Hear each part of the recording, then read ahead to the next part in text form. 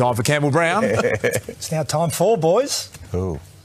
happily regretting, not happily I shouldn't say, but we regret, regretly, um, you know, uh, had had that regret.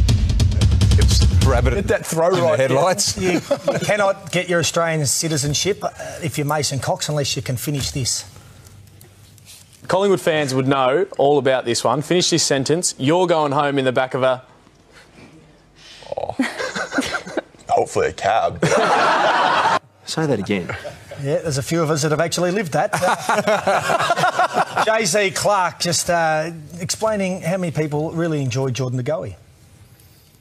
Andrew Gaff is a story I wrote this week. There's five blokes into him, right? Uh, Clubs, five, five clubs. clubs, yeah. Please excuse me.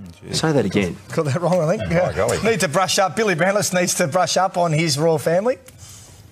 There's Beatrice. That's a long build up. She's had enough. Long build It is a long build up. And even Mary had enough. Or Mary. Or whatever her name is. Say that again. Oh, come on, Billy. Steve O talking about uh, the F1 driver. He's like, what's that bloke that got younger? Jenson Button or whatever. Say that again. Wasn't Benjamin.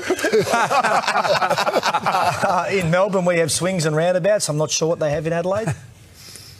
Oh, it was good tonight. Yeah, look, that's and that's the evolution. That's, that's sorry, not the evolution. That's the the, the swings and merry-go-rounds of footy, isn't it? Say that again. Big buzzword at the moment in Adelaide, hemi awareness. Uh, they've been cruelled, the Adelaide Football Club, by it. And another one got taken on Friday night. Look at the trainer. This time it wasn't a play, it was actually the trainer. That was a good one. Well, you're not really. Uh, you not really BT, you went to the Ellis on the weekend. Let's have a look at what you got up to. Oh, boy. Handball to Christensen. Back around the corner. Taylor to Butler. Butler into an easy one. Oh, that was uh, unusual, Brent. This is a young man that uh, has been waiting for you to call his game all his life, Tommy Cutler, and uh, you called him Butler. Did I? I got him round the wrong way.